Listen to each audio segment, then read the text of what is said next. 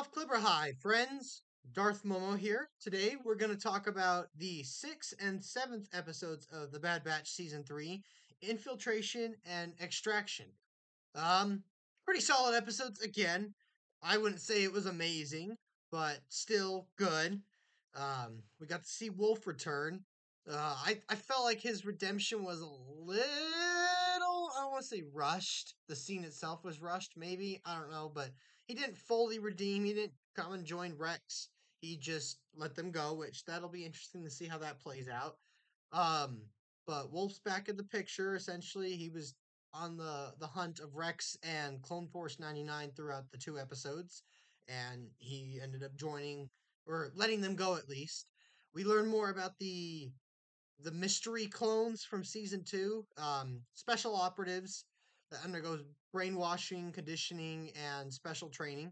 Looks like they tried to tr- tried to recruit Crosshair, and he didn't end up working out with that. Um, I know some people had thought that that might end up happening with Crosshair towards the middle of season two, so uh, at least they addressed that. And then also we learned that the Empire is after. Well, we, I guess we already knew that, but the characters learn.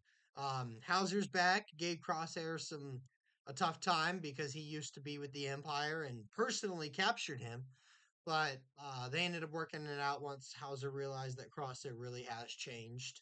Um, cool to see Teth. That that was Rex's little base of operations for then at least. It ends up getting destroyed. Um, but that was a cool little thing to revisit. And yeah, it looks like now um, Rex is petitioning Hunter to stay in the fight because they know, hey, Tantiss wants Omega. You want to keep her safe? You need to deal with that. Um, I'm really interested to see where they take this storyline because we know Rex has to step aside eventually. And I'm curious why.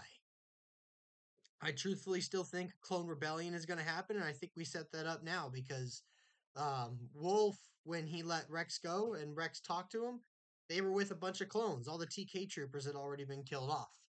Um, obviously, every episode so far, we've been building up to the Tantiss threat, which I like that.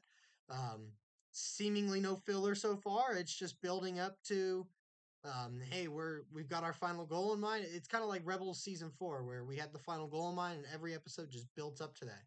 So I'm really excited to see how the rest of the series plays out. Obviously, we still got a couple months more of airing episodes before we get there, but we're about halfway there, um, episode count wise. So you know, let's let's keep it coming. I I still think they're gonna die. I know some people might not think that, but all I could say is, hey, Rex steps away, and all he's got is Gregor and Wolf. No Clone Force 99, Howzer, etc., Cody.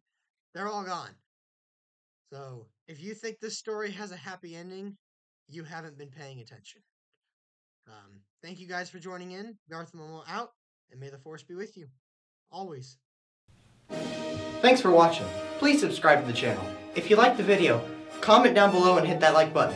Oh, and check out some of my other videos. I'm sure you'll find them delight.